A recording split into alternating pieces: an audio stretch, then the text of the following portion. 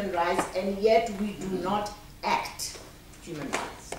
Everywhere we go, we are told, oh, South Africa is wonderful, your constitution, your policies, but when it comes to implementation, that is where we fail. And that is why I say thank you for being here, because you care. We were at the commission, I think, about a month or less in 2017 when Professor Makgoba came to see us. And when he started telling us why we were here, I thought, yes, the universe is telling me something. Because I have a sister who is a mental health care user.